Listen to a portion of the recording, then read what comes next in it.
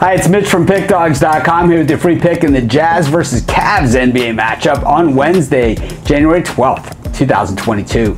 Here on YouTube, I do tons of free pick videos, so be sure to subscribe to our channel while I try and win every single pick I give out. We all know that's not possible, but if you're looking for my best bets, because I'm most confident. Or if you're looking for best bets from some of the top handicappers in the world, head on over to our website, pickdawgz.com. You just click on the premium picks tab. But let's get to this one. We got the Jazz and the Cavs, two pretty decent teams here. Be sure to smash that thumbs up, by the way. Let us know we're doing something right here over at Pick Dawgz YouTube channel. But anyways, like I said, the Jazz taking on the Cavs, and the Jazz getting back home here. It was not a good road trip. You know, it started off good with wins against the Pelicans and the Nuggets, but after that, loss at Toronto, loss against the uh, Pacers, and oh, that loss as a 10 and a half point favorite by 10 points to the Detroit Pistons of all teams. Not pretty. Meanwhile, when we look at at the Cavaliers. They've been on the road now for three games. The loss happened at Golden State. It's going to happen. They did not cover in their win against the Kings, but they did beat the Blazers 114-101. So this is really a very stiff test for them with Mitchell and Gobert.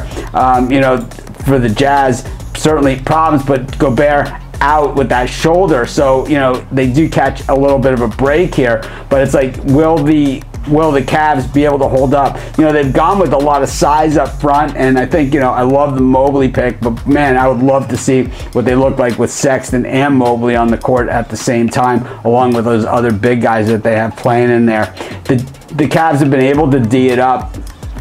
And that's how they get it done. That's how bad teams become good teams. If you ever watch my videos, I say it probably an annoying amount of times that you guys just uh, goes in one ear and out the other, but it is the truth. And the Jazz have the best offense in the NBA, but I always rather go with the best defense. You know, I think Cleveland at least covers here, and that's going to be my free pick. Of course, if you like our YouTube, be sure to check out our premium YouTube. Just click the join now button. It's located directly below this video. Our premium and VIP levels of, of membership are the best values in sports handicapping anywhere. So uh, be sure to check those out as well as our supporter level, which starts as low as three bucks a month.